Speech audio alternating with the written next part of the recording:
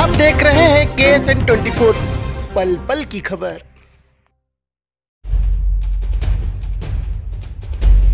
केंद्र सरकार ने दो हफ़्ते के लिए लॉकडाउन आगे बढ़ा दिया है। देश के कई राज्यों में कोरोना वायरस से पीड़ितों की संख्या के मद्देनजर केंद्र सरकार द्वारा यह निर्णय लिया गया है।